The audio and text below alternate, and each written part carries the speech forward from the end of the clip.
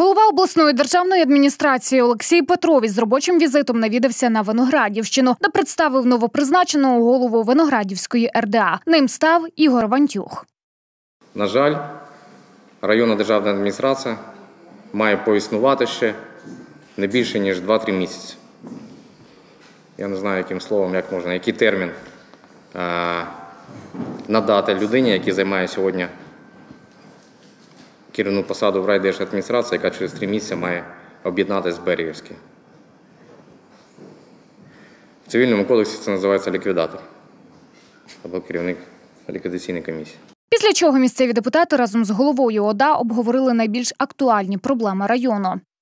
Готовий відповісти на всі ваші питання, які не зможу відповісти відразу. Ми беремо на контроль і далі ваше спілкування або ваші питання, зауваження, застереження, претензії, проблеми до представників правоохоронного блоку. Підняли питання освітньої галузі. Станом на 2020 рік на 1 січня залишки освітньої субвенції е, в сумі 50 мільйонів 596 тисяч 936 гривень. Відповідно було рішення сесії про розподіл залишків освітньої субвенції пооб'єктно і були визначені ряд об'єктів, які будуть фінансовані за рахунок залишків освітньої субвенції.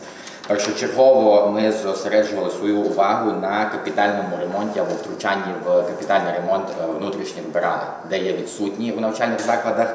На 1 січня 2020 року в Виноградівському районі було відсутньо 12 внутрішніх вбиралень з 53 закладів освіти. Найбільшу дискусію знову викликала сміттєва проблема району. Жодна сільська рада у районі не відмовляється від будівництва заводу. Жодна. Жодна не відмовляється. Не відмовляється. Питання стояло в тому, що нам пропонували і в той час, і зараз, нам пропонували просто 100 гектарів обгородити колючу е, проволоку і завозити туди просто мусор без переробки. За липень місяць макулатури ми вже вивезли більше, ніж 54 тонни. Е, При показнику в лютому 9 тонн. Це наша ініціатива. Ініціатива е, молодого колектива, який бачить, що е, нагрузку на сміттєзвалище ми повинні зменшити. Ми маємо зараз, от відповідно до стратегії поводження з відходами, хоча б в Закарпатті, почати з перших двох. От запровадити у нас є стратегія, ми хочемо знайти, поставити, не знайти, може знайшли сім майданчиків, які будуть перше, що сортувати. Сортувати, забирати вторсировину. Це 15, ну 17% від е, питомої ваги всього сміття. Уже зменшимо навантаження на екосистему.